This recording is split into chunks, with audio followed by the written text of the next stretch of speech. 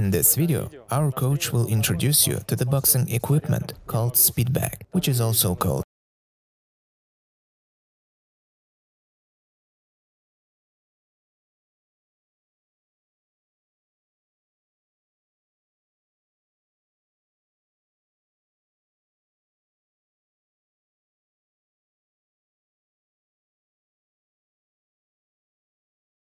one of the most interesting tools in boxing.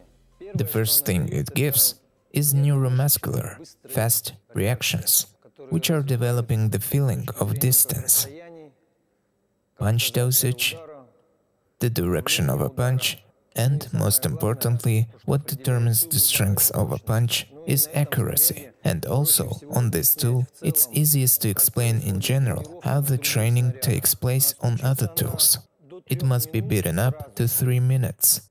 Initially, all work on the speed bag should not be more than 15 minutes. Because I think that after the first 3 minutes, you will already understand what it is. Today we will show the whole range of punches that are necessary for the development of punches in general.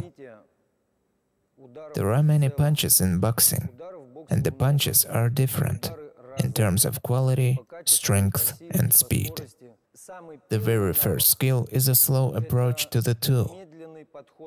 That is, don't try to hit it hard. The easiest way is to start with the palm fist in order to understand how it moves, so that there is already a sight on the very line of the punch. These are the simplest movements for beginners. Once you push it, it hits the platform three times. You meet it in the middle, in the widest place. Here, on the speed bag, an icon is even drawn. Well, in this case, where to aim. After getting acquainted with the speed bag, the very first punch that you can do is a hammer one.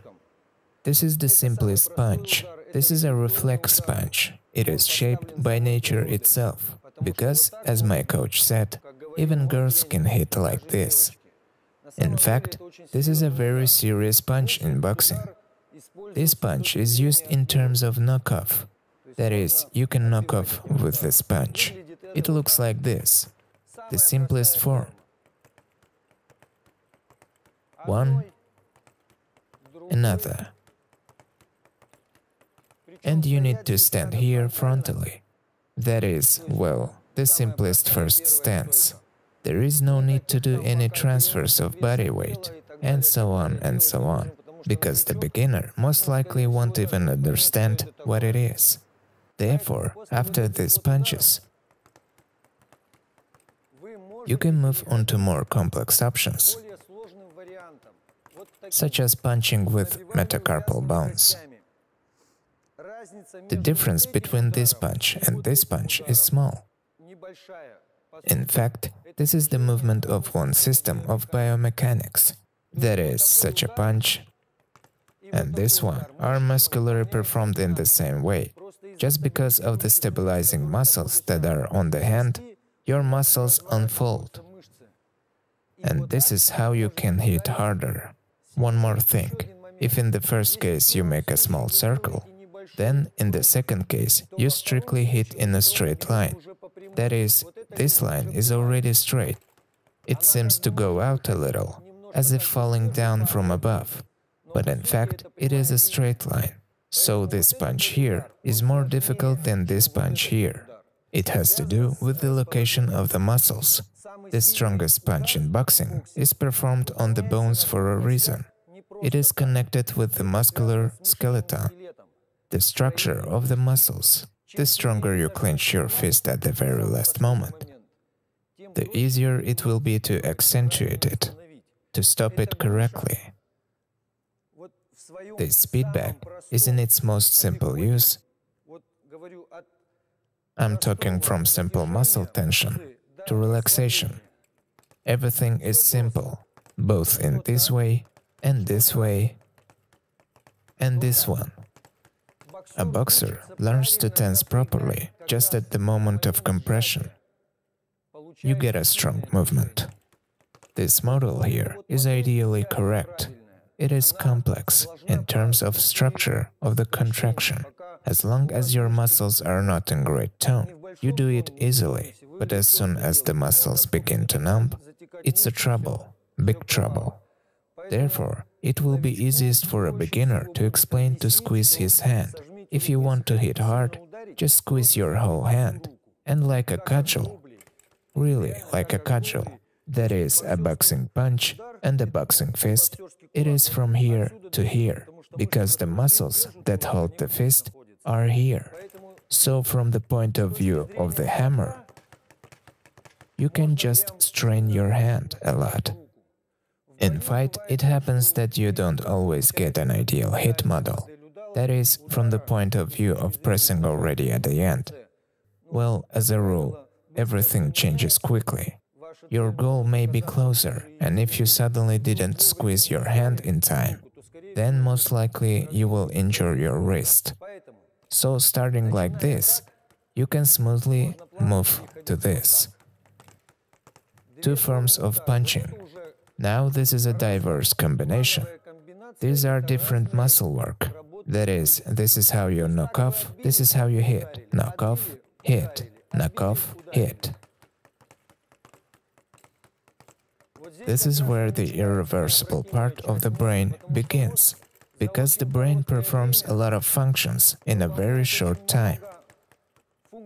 One hemisphere begins to negotiate with the other hemisphere, and thus the most accurate model of punch representation is created. The next punches are, well, in terms of their form, they can even be a little more difficult. They already begin after you have already mastered this tool. In terms of speed, clarity, understanding the sense of rhythm, one punch after another. That is speed and power. Next, we will show the punches that are already concern the professionals. One of the most difficult punches is considered short. Here is a long punching, a long one, and there is a short punching, which is generally formed on very short muscles. That is, here you do not take your hand away, and it doesn't work for you in terms of total muscle use, but is almost in static tension it almost never comes back. This is how a master class is already defined.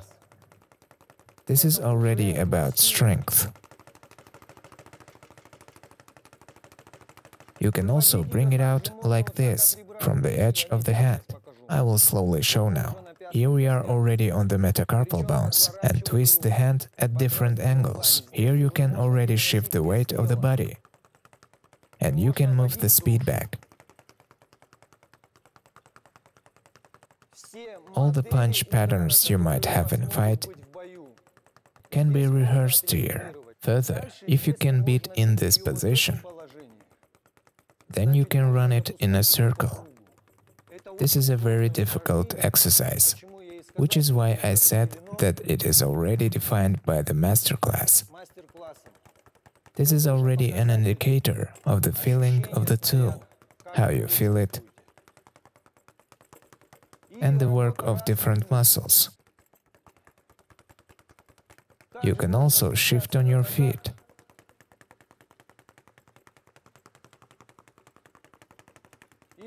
And try to beat it already in the movement of all muscles. Next come the punches that come from the first and second. That is, roughly speaking, they are long with a transition to short ones.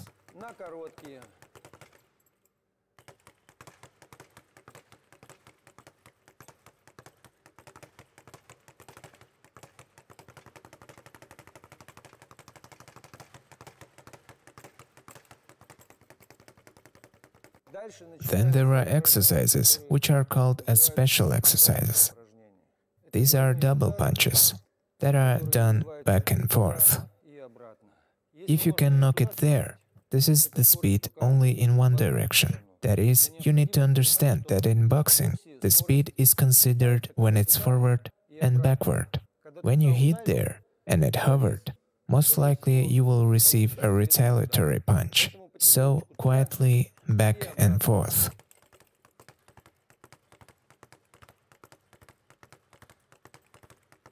This is with the edge of the hand.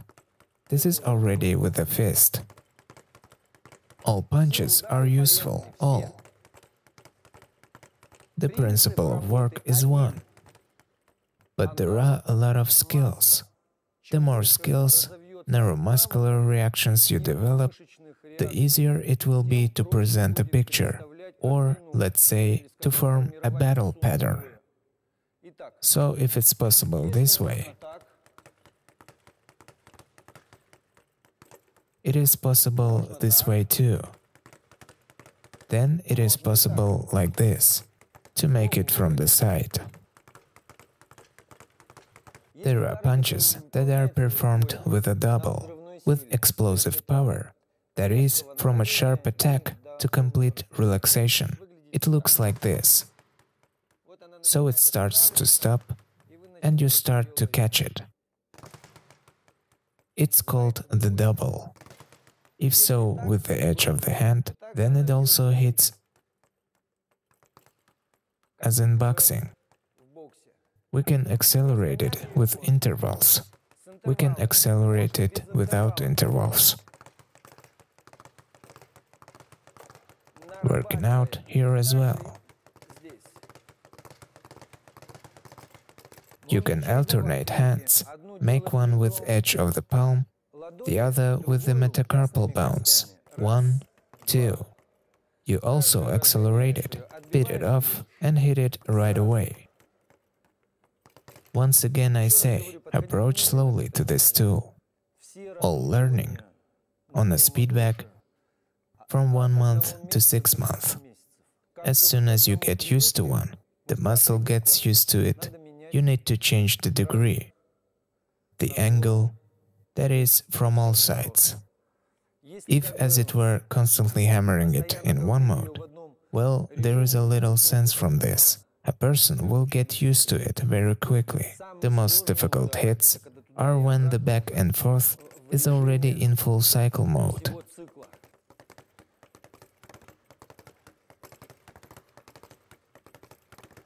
The history of this back is actually ancient. Already in the 20s, there were similar options. They just differed in weight, in size.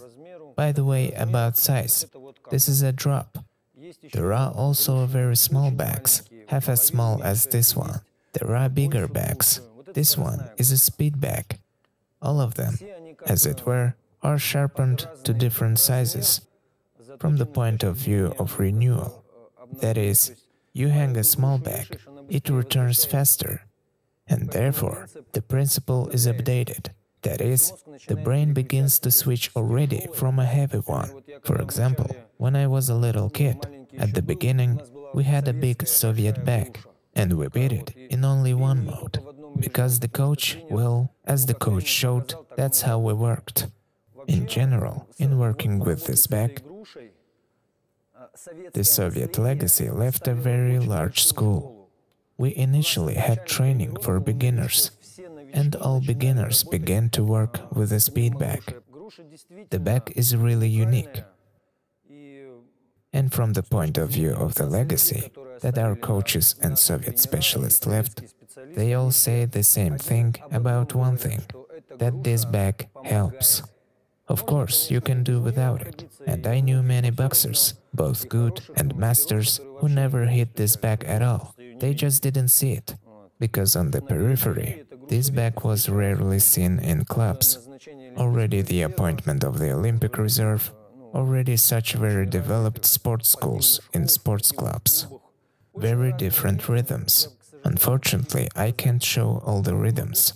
I can only show those rhythms that I do myself, but I know that they beat it in general in different ways. The more varied, the better. There are also the Americans who came up with as the Americans say, this is the development of a punch from below. A side punch is also placed, as it were, on the same back. You just do not hit in, a straight line, but simply start to make an arc. Well, it's clear that if it's possible this way, it's possible the other way too. The most important thing here is to get used to the rhythm and catch the back. You can also do this exercise quickly, with two hands, each time change the direction of the back. All exercises are effective, even those exercises that seem to you like meh about nothing. In fact, this is the work of the brain. Boxing is in your head. It's your idea of speed, accuracy, and so on and so on. All these factors determine strength, skill. So love this back, respect it unconditionally, and develop yourself. It will definitely help you.